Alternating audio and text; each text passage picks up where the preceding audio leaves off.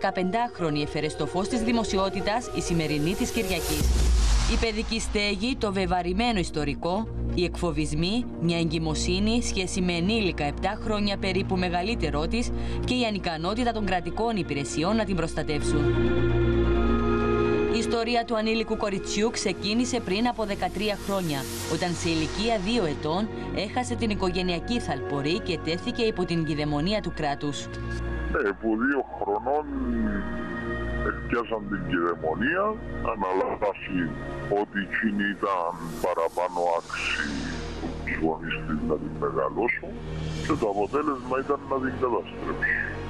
Η αμέλεια, ωστόσο, η αδιαφορία και το τρίπιο σύστημα των κρατικών υπηρεσιών ευημερίας ευθύνονται, όπως καταγγέλει ο βιολογικός της πατέρας, που σήμερα το κορίτσι είναι στο έλεος του Θεού και διανύει τον δεύτερο μήνα της εγκυμοσύνης της από σχέση που διατηρεί με ενήλικα.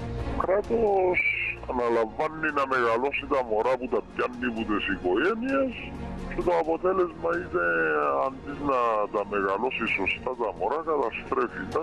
Όπως υποστηρίζει ο πατέρας της 15χρονη, οι υπηρεσίες κοινωνικής ευημερίας, ενώ γνωρίζουν για τη σχέση που διατηρεί με ενήλικα, εν τούτης, άφησαν την κόρη του απροστάτευτη. Πάντως ότι μόλις γεννήσει να την αφήγουν να πάει να μείνει με, το, με τον πατέρα του μωρού και δεν να την στηρίξουν πάει και μηνίσκει μαζί μου και πάει και πίσω και δεν έχει πρόβλημα το γραφείο μου. Ήταν της ότι δίπλα της και ότι εγκρίναν τη, τη σχέση του.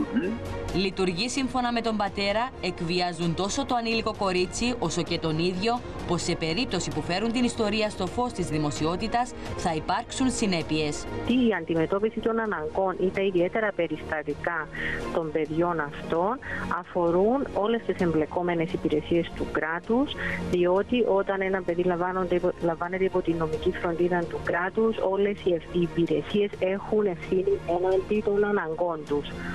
Όσον αφορά ε, περαιτέρω ε, ζητήματα, οι υπηρεσίες κοινωνικής ευημερίας αύριο ε, θα προβούν σε σχετική ανακοίνωση. Η σημερινή έθεσε την υπόθεση και ενώπιον της Προέδρου του Συμβουλίου Φωνή, η οποία αναμένεται να ζητήσει διερεύνηση του περιστατικού, ενώ όπως δήλωσε, αν όντω η 15χρονη διατηρεί σχέση με ενήλικα, τότε όσοι είχαν γνώση και δεν προέβησαν στην καταγγελία διαπράττουν ποινικό αδίκημα.